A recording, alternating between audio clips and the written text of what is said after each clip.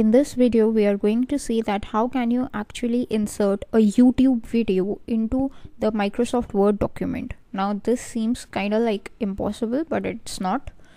There is a special feature supported by microsoft word into its products that allows us to you know use the videos as well. So what we are going to do in this case is not actually use an offline video but a video that's available on youtube online.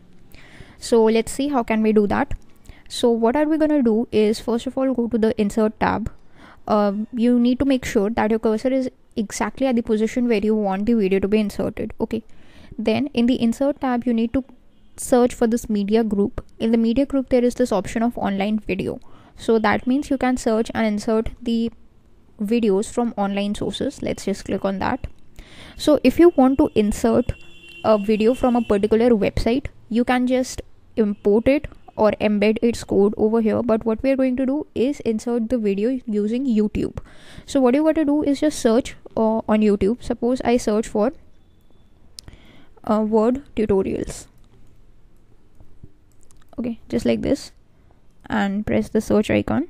So i'm getting a bunch of the word tutorials and here if you just hover over any of these um, icons or any of these thumbnails you would get some information about this as well like microsoft word tutorial beginners level 1 so this would tell you the video name.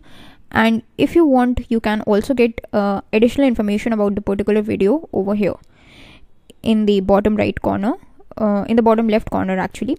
So once you are happy with the video you can just select the video. Here it's showing the title of the video and the channel which has uploaded it. Then click on insert.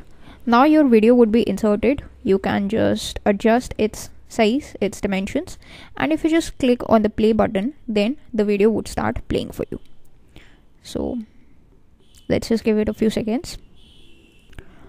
And now you can see it starts playing directly from youtube. So that's how you insert a youtube video into a word document. That's all for this video. Thanks for watching